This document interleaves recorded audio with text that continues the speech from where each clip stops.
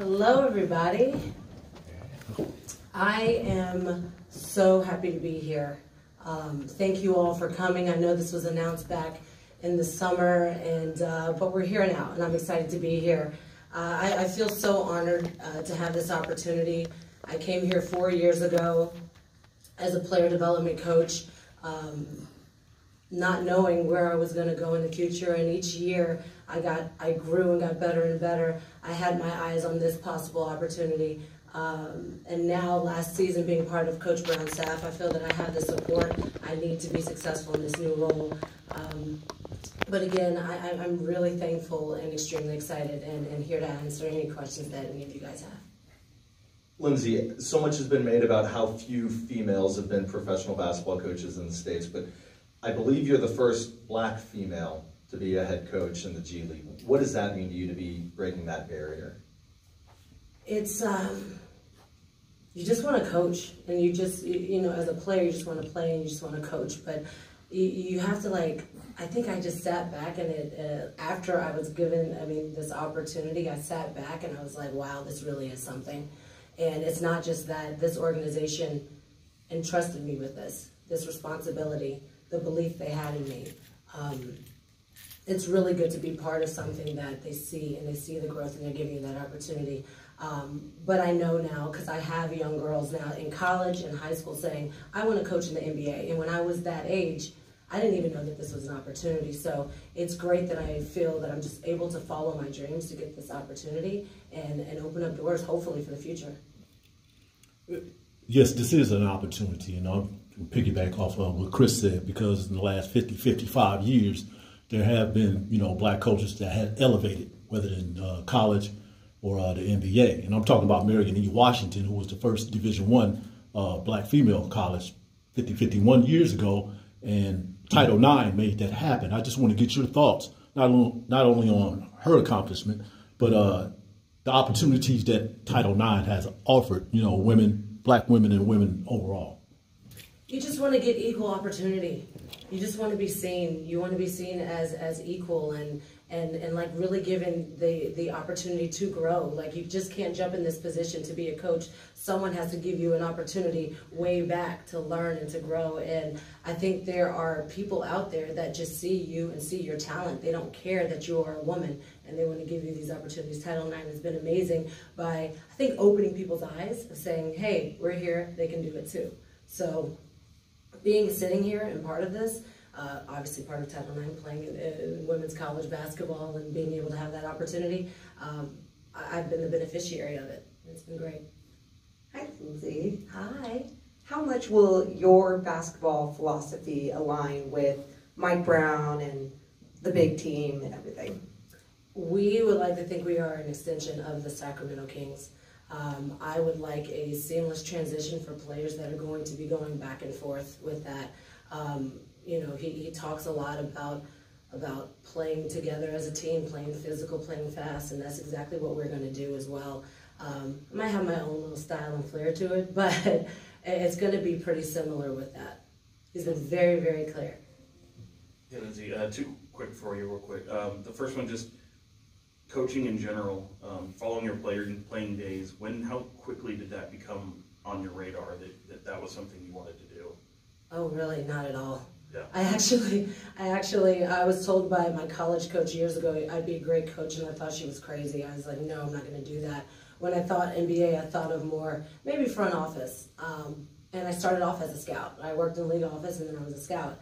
And I had an opportunity to be a player development coach when I was with Philadelphia and I loved it. I absolutely loved it. I, I didn't expect to get here where I am years later, but I just kind of followed that path and I enjoyed it. Yeah, and speaking of that, just Philadelphia, being on Luke Walton's staff, being with Mike Brown's staff, what were you able to take from maybe each individual spot that you can apply going forward in your coaching career? Each individual, that's a great question. Uh, first, first starting, I had like Brett Brown and I was like knew nothing about the NBA. He was very open. He had his his his office open anytime. Um, I think him giving me the opportunity to like ask and share and um, he didn't put me in a box, if that makes sense. You know, sometimes you're nervous and you don't want to say anything. He would call me over, ask what I think, And it was really cool to tell him something and to see him actually do it. I don't know if he did it on purpose or he fully believed in it, but it gave me confidence. So I, I loved that. Coming here with, um, when Luke Walton brought me here, it was my first time doing scouts. Really like learning the process of having to do that, understanding that different coaches, different teams, different people, they do it in, in several ways. And um, each year it was done differently, but that helped me grow as far as like even having a voice in front of the team. And then now here with, with Coach Brown, um, man, how much time you got? Um, it, it's, it's been a lot. Um, he's sitting here in the back of the room, but like it's, it's, uh, for one, that shows you the support that our head coach is standing right here for this press conference in the back of the room. But um, I think he's on my speed dial. I can text him whether it is about basketball or about other personal things. Um, any questions I have, he's there to, to give an answer. If he, um, and, and, he's the kind of leader that he doesn't care if you are a video person or um, have this much experience or none at all. If you have something to say and he likes it, he will use it. And I think that gives so many people confidence. If he doesn't like something, he'll tell you that too. But that also makes you better. Um, but I have to say, and I will say this directly to you, Coach Brown, you have given me so much confidence last season to be in this position now because I know no matter what, you guys have my back. Hey, Lindsey, um, back here. Do you consider yourself a trailblazer? I've been called that before. Um, I, I, when you think about it, I, th I think I am. I think I am. When I'm just coaching, you don't think about any of that. You go, you do your job. Uh, but when you take the time and you really sit and, and think about it, I mean, how many women look like me that do this? I didn't have this when I was a kid. I didn't have someone that looked like me that was doing this that I could say, hey, I want to do it. I think a lot of these young men, I mean, they're so lucky they, they, they're able to see somebody and see the path to get there. I don't really know the path to get to the highest level. I'm just kind of making it as I go. So I guess trailblazer might be the, the word for it. Hi, Lindsey. Congratulations on your accomplishment. There you go. I wanted to ask, have you spoken to any other women around the league, whether that be Becky Hammon and, and her experience, and what advice did she give you? And, and if you haven't spoken to maybe someone in her role, uh, whether that's your family or your mom or some, a woman that you look up to that gave you advice that you stick with? I, I've known Becky since the my years playing the WNBA. So like I talked to her when I first got in the NBA, and she talked a lot about her experiences, giving me little nuggets uh, about um, you know just just kind of her experience and things that can help get me ahead. Um, I remember her telling me at my first summer league, this was years ago. She's like, "Stick with it. We need more women here." Um, for one, I just want to congratulate her on her second championship back to back. That is big time, and that also says what kind of coach she is. Uh, but no, we, we've definitely have, have spoken in the past about it. And um, yeah, I, I, just I just know that I want to be also open for other women that's coming up that may have any questions uh, moving forward because she definitely helped me. Lindsey, you, you mentioned how much you love coaching now. What, what do you love about coaching? I think the, uh, the, the the teaching part of it. I mean, it's it's all teaching, right? Um, we all learn differently. We all um, you know, kind of absorb things differently. But, you know, I come from like, from the court and being able to, my approach is as a, as a former player at times. I remember being in certain situations. I remember feeling certain things from being the starter, the, the star number one pick to being injured and never playing. So I feel that I have that understanding. But when you've worked so hard with a player throughout my year and something and maybe their contract is coming to an end and they're stressed and then you see them get an extension or you see them get an opportunity elsewhere, or uh, you see a player like bet on themselves and then two years later they get a big deal. It is such a great feeling to know that you're one of the coaches that they pick up the phone and call. That they call and they say, oh, I got this, I'm so excited, thank you. So I, I think that's probably like the best, the best part of it. Hey Lindsey, congratulations. Thank um, you. You mentioned that you kind of had the idea of eventually being a G League head coach for a little while. When did that first come on your radar? And what did you need to do to progress from that point to where you're at now? I at first I thought it was like a pretty cool opportunity. You know, the G League has about half the players in the, the NBA played there. A lot of the coaches coach there. Referees have to go through there. I, I felt that that would be part of the path of my continual to grow uh, as a coach.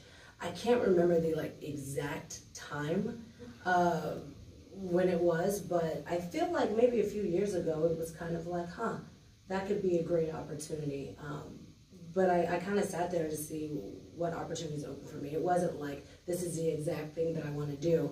If it opened, if the opportunity present, presented itself to me and I was in the right position, had the right support, had the confidence I felt, uh, I, I, I, would, I would want to take it. But I also understand that there's not many people that look like me doing this. Like there's no one.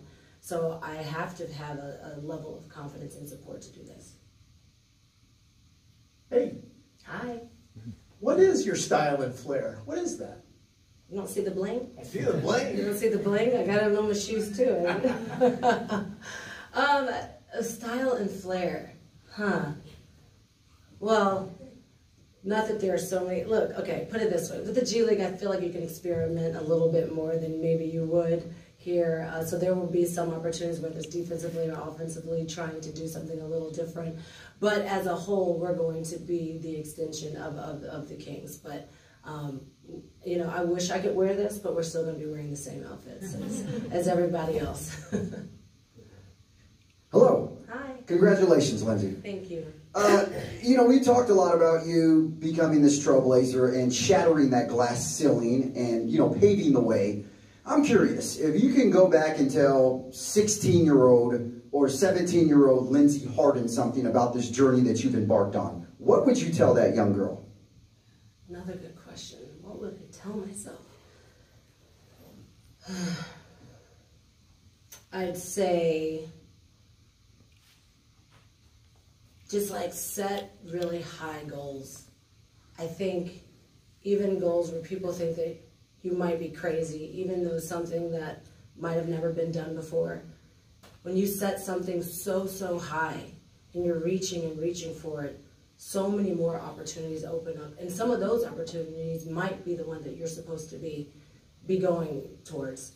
And I think if you set things low, like, oh, this is easy, I can do it, um, you don't really get to reach your, your full potential. And I would also say being uncomfortable is where you want to be. The moment you're comfortable and you're there, you're not really expanding and growing. You should, at some level, feel a little bit uncomfortable in a sense of what you're doing. And I kind of felt that as a player. And those are the moments that I felt that I showed greatness as a player when I was uncomfortable and able to push through that and win certain games or push through the uncomfortable. Like I, I felt like my, I was going to collapse because I was tired. So I, I, think those are things of, of, setting high goals and pushing through uh, moments where you are uncomfortable um, in doing so. Lindsey, not to put the cart too far in front of the horse, but you talk about this being the next step, and, and so what, what is the step after this? What is the ultimate goal? Is it WNBA head coach? Is it a college men's head coach? Is it head coach in the NBA? What what is the ultimate goal for you? Even though I know you said you don't want to just pigeonhole yourself to just one thing, what are you wanting? Winning a championship.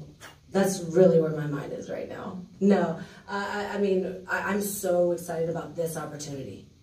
Like I'm so excited about this opportunity right here. Would I love to keep going and be a, a head coach at another level? Maybe, but right now this is my focus. This is my goal this is where my mind is, and this is what I'm going to put all my effort and energy on. After this year, how everything goes, ask that question to me again, and we'll see where it goes from there. But right now, I want to see where this goes, how far we can go, how many players I can help to help this team so we can all, you know, win a championship. Lindsey, I know that you are about the work, and you're driven, you're determined, and you partnering with Anjali to, to be the first led team by women, both on the coaching side and the front office side. How has the process been starting it in terms of working together, setting goals, and, and the transition into the new role? I have to tell you, Anjali has been amazing. She has been on it. I mean, I feel like since I got this job, uh, she's been on my phone every single day, all day because um, she's really excited for this opportunity. And we also aren't taking it for granted. We understand the weight of this. We both do. We can't just be good, we have to be great. We both understand that. So her starting early, and, and, it, it was really big because the first thing she talked to me about was being transparent. She wanted to have open dialogue about players, about situations, wanting to know what I thought, even wanting to know what, what my staff thinks about certain players, style that I want to play or we want to play. And it has just been really great to, to do this with her because she has, I have to tell you, she has worked so hard. I think it was, did you text me at four in the morning? it was at 4.30 this morning. But um, it, it's just it's just really been great. This is my first time experience this. I, I really didn't know what to expect. Um, but really having that like open dialogue with her throughout this process has, has been great. I, oh, I did have one more if you don't mind. Sure. Just real quick. Uh, this organization have made some bold moves. Uh, yeah, there was a all women female broadcast team just a couple years ago, you know, during COVID, and now you know with you two coming in here, which is extraordinary, monumental. Uh, what, what is your thought about the, the Sacramento Kings, Stockton Kings organization overall? Let's be clear, I'm not the first female to coach here either. I think I'm the third to, to be here. They've always done it. They've always seen a coach as a coach, whether you are a man or a woman, and they've always given opportunity. They're not just handing out something, you gotta come and you gotta do your work. But if you do your work and you're good, you will get an opportunity. I think it has gone through our front office, that's how they do it. And being a part of that and and, and seeing that, I mean, why wouldn't this be the organization to do this? If you really look at the past and the history of what they've done, like, why not? This was, I, I don't think even like, blink of an eye for them. So I, I feel really lucky to be a part of it and that for them, the biggest part is just the, the growth and opportunity that they're giving people within the organization to get opportunities. I think is really huge. Thanks everyone. Thanks everyone. Thank you. Appreciate it.